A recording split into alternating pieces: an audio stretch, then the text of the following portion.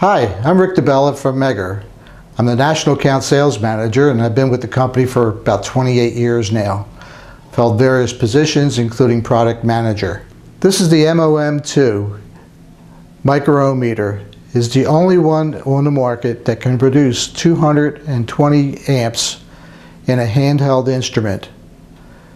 The leads that you see in front of you also have the ability to carry 220 amps.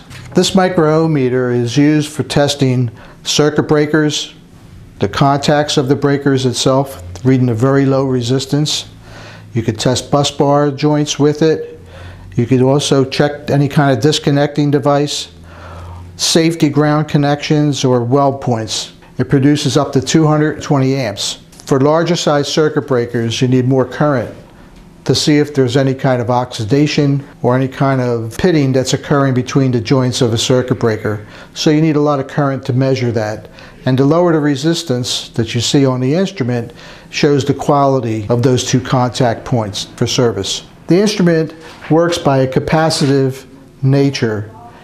You first would set it in the green range here for whatever seconds, how, how long you want the test to resume as far as the seconds are concerned. The lock comes on, which means you can't do a test until the capacitor is completely charged.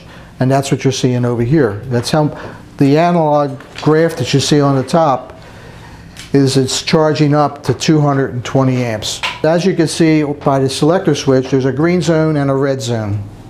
If I put it to a test on a green zone, the capacitor is fully charged when you do a test and then slowly diminishes or decays down to a preset current that you've selected.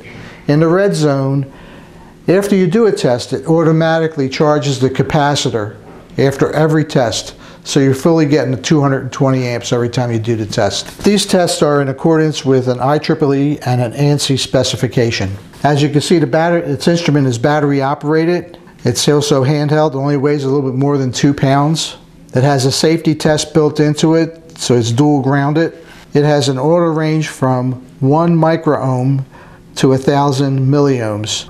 This instrument has the ability of storing all the tests that you've performed and downloading it through Bluetooth technology into your PC. For additional information, please contact your TEquipment product specialist.